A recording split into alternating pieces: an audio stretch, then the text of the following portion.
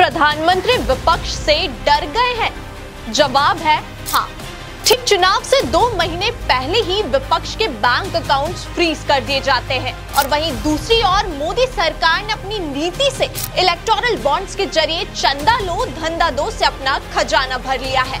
Bank accounts freeze होने की वजह से कांग्रेस ना तो अपने उम्मीदवारों को चुनाव के लिए पैसा दे सकती है और ना ही विज्ञापन दे सकती है।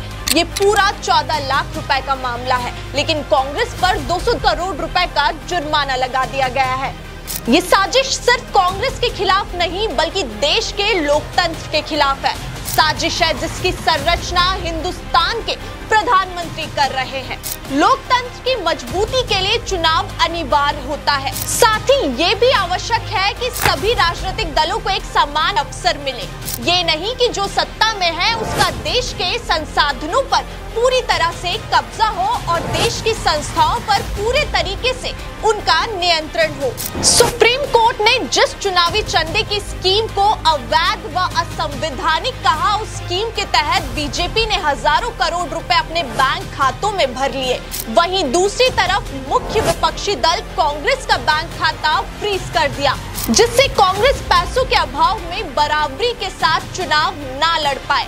ये मोदी सरकार द्वारा रचा गया एक खतरनाक षड्यंत्र है, जो लोकतंत्र को खत्म करने का, बीजेपी का एक प्रयास है।